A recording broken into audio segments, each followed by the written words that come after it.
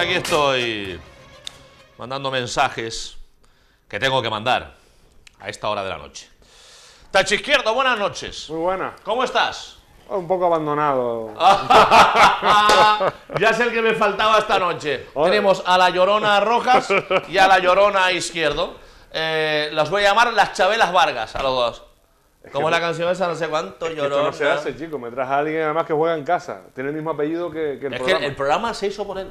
El programa, yo estoy seguro que Dainos se inspiró en Moisés para ponerle el grillo. Gracias, Moisés, un abrazo. Ha estado, Em, ha estado magnífico como siempre y entretenido. Lo hemos petado en las redes, ¿eh? Sí. Lo estamos petando en las redes. Muy Increíble. Récord, récord. Eh, cuéntame, querido compañero. Bueno, a, a ver, a ver cómo te cuento, porque la cosa en Tacoronte parece que se está complicando por, por, por minutos, ¿no? Ayer era la festividad, la última, la octava del Cristo, ya como último momento de la fiesta del Cristo, despedida de los vecinos de Tacoronte y de, y Wimar, del Cristo de Tacoronte, hasta el año que viene. Pero hay mucho nerviosismo en este municipio y en una procesión bastante concurrida, en un momento dado hay unas palabras de reproche de un ex concejal de Si se puede, Ángel Guanche, por cierto ya jubilado y en ese momento decidió, no como otros, dejar la política como una actividad eh, secundaria y dio paso a una nueva entrada, a, sangre nuevo en el grupo de Si se puede, pues ayer le reprochaba a Honorio, Honorio Marichal, el concejal que precisamente abandonó las filas de Si se puede para apoyar a Álvaro Dávila en su cruzada eh, por el control de Tacoronte, y a, cambio de ese reproche, eh, supuestamente, el ex concejal de Tacoronte recibió un ataque del padre de Honorio Marichal, con varios golpes, sí, una situación bastante desagradable, de la que se percataron, según tengo entendido, algunos concejales. Hoy ha sido tema muy comentado en el ayuntamiento, pero no comentado, digamos, eh, a grandes rasgos y a grandes trazos, comentado con, con bastante temor y con bastante petit Pero, comité, ¿de qué porque, tu ataque? hombre, eh, le propinó dos golpes en la, en Coño, la- una agresión, en la, en la espalda. Sí, pero lo golpeó con los puños, fue. Con los puños. Estoy hablando una la- cosa que te empuña, otra cosa que te empiñas. No, no, parece que le, dio dos- le propinó, parece, parece ser, supuestamente voy a decirlo, porque claro, Pero no la- estaba- no había policía local en ese momento. Hombre, la verdad que, la, la verdad que las fiestas del Cristo han estado bastante escasas de, de policías, pero bueno, también consultadas esas fuentes me han confirmado ese hecho, que se, el- el- digamos, la agresión se, se produjo. Eh, Ángel Guanche ha puesto en conocimiento de Pedro Fernández Arcila, miembro de Si Se Puede también y abogado en ejercicio, el caso, quien está, bueno, quien se reserva todas las acciones posibles respecto a esta situación. Máxime cuando, bueno, Ángel está pasando ahora mismo por una situación, digamos, de salud bastante delicada y este tema, pues bueno, le puede perjudicar en su recuperación y en su, O sea, que fue un en su abuso. estado de salud. sí. Bueno, eh, en, en realidad fue un, por lo que se dice, fue un, un ataque por la espalda al exconcejal y evidentemente, hombre, esto ha generado, como te digo, un- una reacción ya de, de- de hartazgo y antagonismo diciendo, bueno, parece que la gente de Coalición Canaria, o el entorno de Coalición Canaria, no se está, no se está tomando muy bien ni las críticas ni, ni nada, ¿no? Eh, no es la primera vez, por cierto, que Ángel Guanche le recrimina a Honorio Marichal el que saliera y que abandonara la- la- las filas de, de, Si Se Puede, pero evidentemente digamos que hay un resquemor porque evidentemente mm, Honorio Marichal en parte traicionó eh, las siglas por las que se había presentado en, en las pasadas elecciones. Claro, hay ahora mismo pues, pues mm, mucho malestar, ha habido llamadas a Ángel Guanche de muchos miembros de las distintas formaciones políticas expresándole su solidaridad y desde luego rechazando cualquier tipo de, de ataque. Ya veremos en los próximos días en qué queda esta, esta acción, pero bueno, las cosas siguen estando revueltas en un tacoronte cada vez más, más inestable. El fin de semana se celebraba la octava del Cristo, una fecha, son dos días, el sábado y domingo, muy, muy, muy concurridos. La Policía Municipal dejó de plano, ya lo habíamos anunciado en el grillo, en la radio, estos días que la Policía Municipal estaba barajando o bien hacer los servicios de manera gratuita como servicio a la comunidad, o bien no hacer ningún servicio. Al final optaron por la segunda opción porque el alcalde, la respuesta que tuvo fue un ataque eh, hacia los trabajadores de nuevo, na- na- nada nuevo en ese sentido. Pero esto va a tener una repercusión porque al parecer, según el interlocutor con el que hablaban los, trabajadores municipales, en concreto la Policía Municipal, el, el concejal de Recursos Humanos, según nos comentan desde uno de los sindicatos representantes de la policía, el concejal les amenazó que si no cumplían con los servicios extraordinarios de este fin de semana pasado, no iban a llegar a ningún acuerdo hasta las próximas elecciones. Con esa amenaza, que consideran que es una amenaza los, los sindicatos, van a ir en los próximos días a los tribunales y denunciar eh, la amenaza y la persecución por parte del Consejo de Recursos Humanos. O sea que esta sigue siendo una situación que se sigue emponzoñando, que se sigue complicando, con un ataque ya personal, con, con agresiones físicas, con una situación ya bastante infumable. Félix.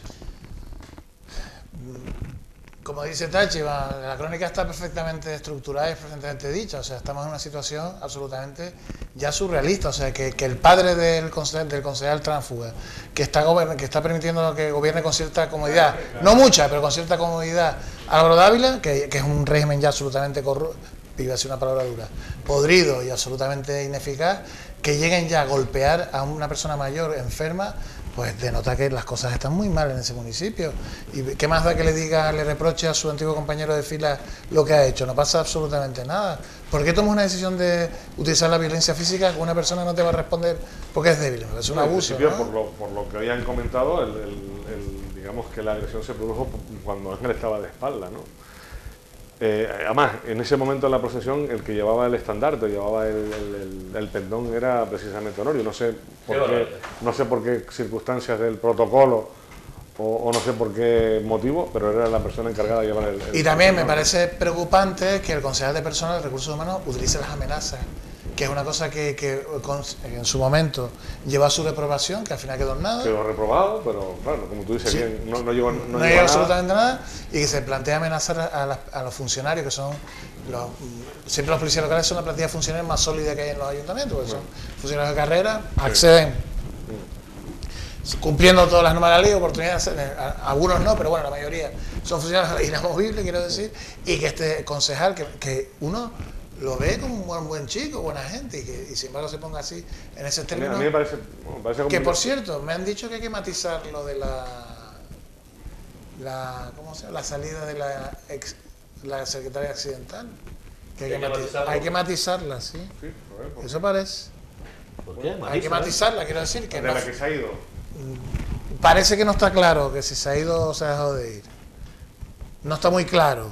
Hombre, han nombrado a una, a una interventora provisional No, que eh, era la... Horte- Hortensia era secretaria Hortensia la accidental. era la secretaria accidental, No pero ahora- interventora. pero ahora, ahora va a ser la interventora, claro. Sí, bueno, pero que está... Y además con una serie de instrucciones para hacer frente a determinados pagos de urgencia. Que no era tal como habían vendido los, su abandono y que estaba molesta y no sé qué. Eso to- un poco está ella dando marcha atrás a todo lo que dijo, se dio en su momento. Eso dicen. Yo solamente te digo lo que. Se dice otras cosas también. También, también. Se dice otras cosas. Hombre, bueno. Tachi está bien informado de lo que está aconteciendo no, ahí, ¿eh? no, no, no, no es definitivo. O sea, Y, y de hecho algunos medios se han hecho eco de, de esa información, bastantes medios de, de ese asunto. ¿De qué? Ahora, ¿qué pasa? ¿Está dando marcha atrás la...? A ver, La la, interven- la información, la información la sacó el concejal de Nueva Canarias, en, fue el primero que la sacó públicamente. José Daniel. José Daniel fue el primero que la sacó eh, después de, de- de decirlo en este medio. Ah, eso sí. Políticamente fue el único, el único, El único sí que ha tomado y partido. después eh, el señor Carlos Medina eh, sacó un artículo de opinión hablando del PSOE. del PSOE. Semana, eh, una semana después sacó un artículo de opinión, no una noticia. un titular que era una cosa rocambolesca, ¿no? Sí, bueno, Pero pero una que- cosa literaria, ¿no? Cuando la política a veces necesita bueno, más pues literatura y ah, más de realidad. acuerdo, pero que la sacaron. O sea, estos dos son así los únicos políticos que han hablado de este asunto. Sí, sí, sí. No, de luego, sí. Pero ninguno de los dos habla del juicio, Del que está a punto de la situación que tan dramática Eh, de bueno, los testimonios que están bajo llave de los funcionarios y trabajadores municipales que han ido todos a declarar y que no conocemos los detalles de esas declaraciones. Algunas muy interesantes con respecto a determinadas subvenciones, determinadas actuaciones. Sí, yo creo que, yo creo que la- la- la- lo que es el juicio oral nos va a aclarar muchas Bueno, cosas. efectivamente, ¿no? Y, O, o bueno, nos va, o nos va a decepcionar mucho, ¿eh? porque también hay versiones que apuntan a, a una salida un poco. Eh, ¿Cómo se llama esto? Cuando un volador sale medio. Sí, bueno, eso, eso Sale es lo que opina mojado, ¿no? la exsecretaria, ¿no? Que va diciendo por ahí que ese- el juicio se va a desinflar, que Eso es lo que se está diciendo. eso es lo que dice, ¿no? Que eso no va a llegar a nada, que ella está tranquila y mientras la otra se puso nerviosa y dice que se iba, la otra está muy tranquila y muy segura de lo que, de lo que dice, ¿no? Y lo que hace. Pues señor, nos tenemos que marchar, a ver. Una cosa más, dentro de todo esto de propósito, yo siento que la avalancha de información sea tan Tremenda. tan tremenda, pero es la que hay. Eh, el fin de semana, por lo tanto no había policías municipales suficientes para cubrir los servicios extraordinarios eh, un sábado con miles y miles de personas en, la Plaza del Cristo de Tacoronte y en sus alrededores, pues parece que se ha suplido, al parecer, fíjate, utilizo, parece, al parecer, eh, los servicios con, con seguridad privada. Seguridad privada... Que es ilegal, además. Que según algunas fuentes, supuestamente... No es correcto. Supuestamente... No pueden suplir. Eh, supuestamente no había contrato para ese servicio. ¿Y cómo lo pagan? O sea, lo dejo ahí. Oh, siguen con la misma historia. Si los han llevado al juzgado por esas cosas, yo creo que estas por facturas que no se pueden pagar, ahora van a hacer eso otra vez.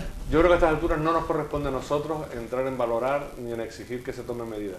Que lo hagan unos señores que forman parte de distintas formaciones políticas, que para eso representan al resto de vecinos de Tacoronte, que den un paso adelante, que la gente está esperándolo desde hace mucho tiempo, y que ellos sean los que realmente le den un poco de luz a esta turbidez que hay en la vida política de Tacoronte, que este fin de semana ya digo, o sea, no se puede tener más argumentos en contra de, las formas de hacer las cosas en un municipio como, como el de Tacoronte.